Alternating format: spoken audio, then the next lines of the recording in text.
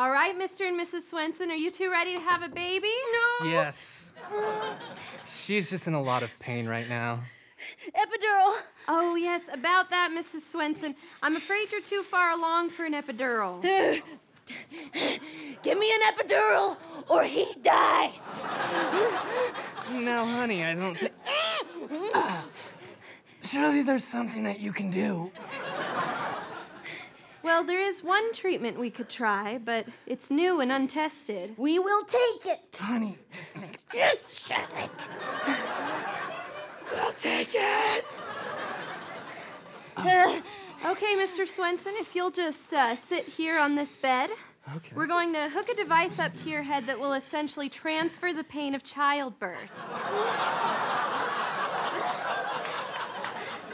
So, Mrs. Swenson, you won't feel a thing. Mr. Swenson, buckle up. Wait, so I'm going to go through labor for her? Precisely. All right. Well, just give me a little second to uh, get a little bit accustomed to this. So.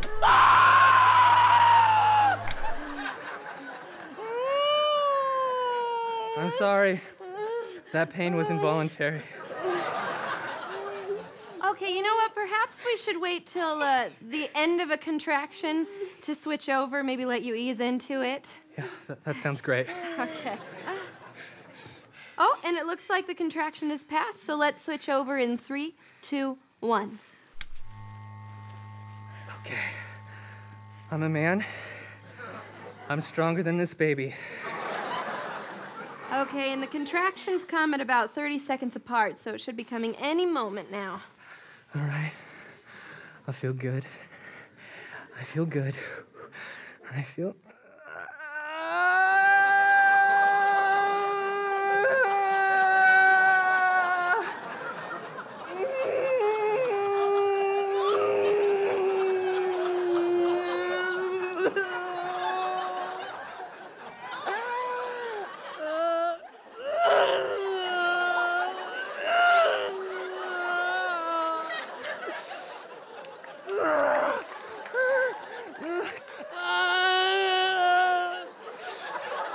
Oh, these are all empty.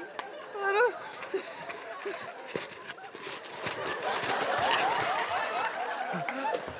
Um,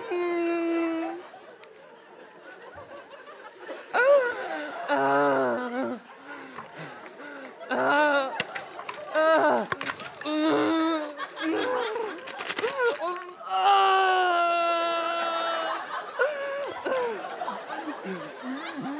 Yo!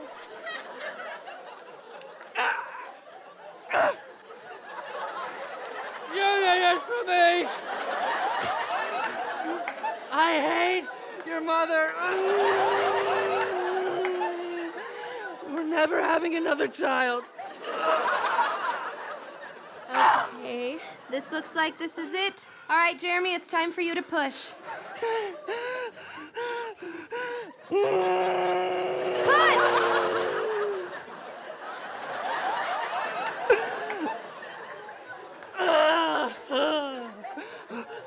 Jeremy, just remember what you told me earlier that pain is weakness leaving the body.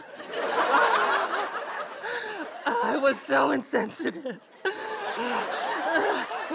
Pain is a baby leaving the body.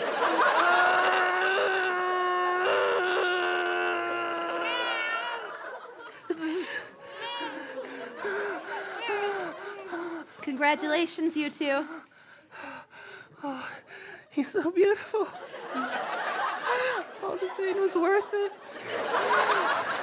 I just feel so close to him. Life is such a miracle.